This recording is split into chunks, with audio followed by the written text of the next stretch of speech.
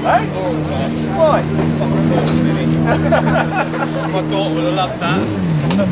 I was give it. Definitely but tell me you're going to do with it. Yeah. It's one of my customers. It comes from Bourne.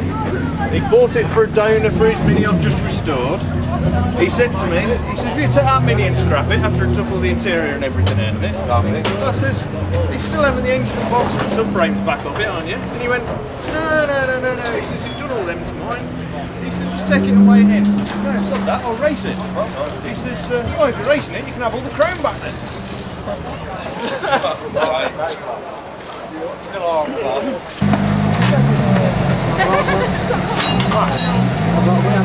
Thank you.